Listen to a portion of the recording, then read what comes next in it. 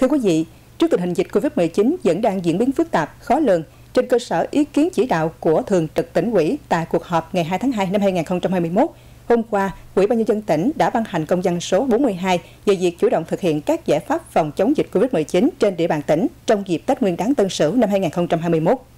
Theo nội dung công văn, Chủ tịch Ủy ban nhân dân tỉnh yêu cầu Sở Y tế chủ trì phối hợp với công an tỉnh và chính quyền các địa phương chủ động thường xuyên rà soát các đối tượng có nguy cơ lây nhiễm để kịp thời xử lý cách ly theo đúng quy định. Tổ chức kiểm tra và yêu cầu Ủy ban nhân dân các huyện, thị xã, thành phố thực hiện nghiêm túc việc tổ chức các khu cách ly tập trung cấp huyện, đảm bảo cơ sở vật chất theo đúng số lượng giường yêu cầu. Tiếp tục duy trì hoạt động của các đội phản ứng nhanh tại các địa phương, sẵn sàng ứng phó khi có tình huống dịch bệnh xảy ra trên địa bàn.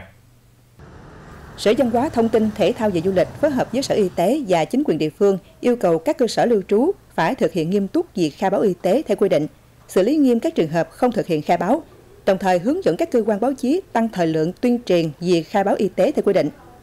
Các sở ban ngành cấp tỉnh, các tổ chức chính trị xã hội, các cơ quan trực thuộc Ủy ban nhân dân tỉnh, cơ quan thuộc ngành dọc, cơ quan tư pháp, các cơ quan thuộc hệ đảng, cơ quan của Hội đồng nhân dân tỉnh, các tổ chức hội đặc thù cấp tỉnh, một số hội cấp tỉnh, các doanh nghiệp vốn sở hữu của nhà nước, doanh nghiệp nhà nước và một số doanh nghiệp trên địa bàn tỉnh, các ngân hàng thương mại trên địa bàn tỉnh, quỹ ban nhân dân các huyện, thị xã, thành phố triển khai đến tất cả cán bộ, công chức, viên chức và người lao động trong những ngày nghỉ Tết Nguyên đán nên hạn chế di chuyển giữa các địa phương trên địa bàn tỉnh và các tỉnh, thành phố khác,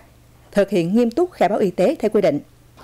Quỹ ban nhân dân các huyện, thị xã, thành phố chỉ đạo quỹ ban nhân dân các xã, phường, thị trấn khẩn trương rà soát, nắm bắt thông tin, danh sách những gia đình có người thân đi lao động, học tập ngoài tỉnh trở về địa phương,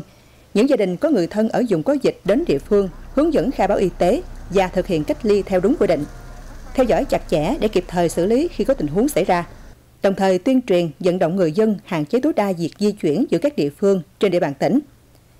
Trước đó, Bạc Liêu ghi nhận một số trường hợp về từ vùng dịch và đã tiến hành cách ly tập trung trên địa bàn thành phố Bạc Liêu và huyện Hồng Dân.